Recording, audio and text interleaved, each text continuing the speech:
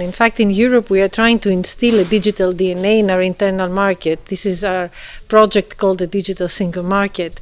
And we're building this project based on the fundamental core values of the European Union. If we're going to transform our society into a digital society in Europe, we really and truly believe, and we are trying to make sure we have the tools in place to create the trust both of our users and our people, but also of the industry and the governments. And trust is based on two very important principles and values in the European Union security and privacy. This is why we're putting in place all the relevant regulatory framework. The General Data Protection Regulation is one example of that.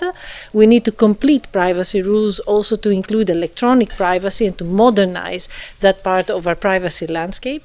And when it comes to security, we now have in place a number of regulations, a number of initiatives and concrete actions, including the requirement for all operators of essential services to meet security requirements, for all authorities to be able to cybersecurity at the national level, to have emergency response teams, but also for Europe to work collectively to manage uh, cybersecurity.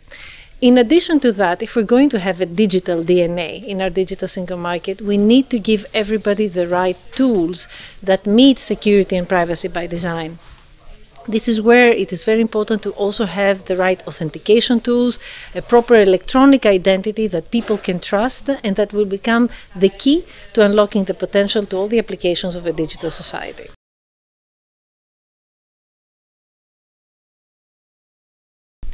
One of the foundations of the European internal market and its core values is cooperation.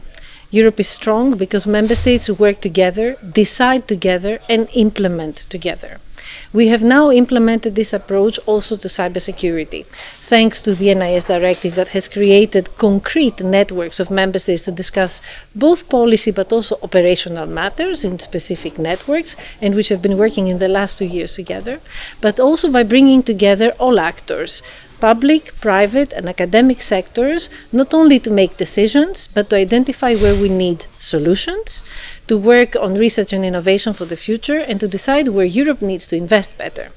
This is why we have made also a very specific proposal for a regulation that will generate a European competence center that will coordinate and largely depend on a network of existing centers of excellence, be that private or public, research institutions who should come together and decide on the agenda of cybersecurity in the future.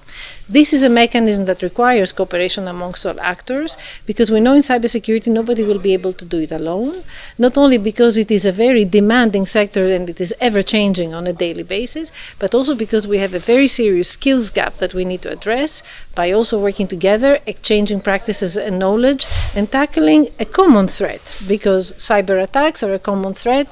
It is really those who want to challenge our systems against us, defending them and making them more resilient, but also responding in the case of attacks.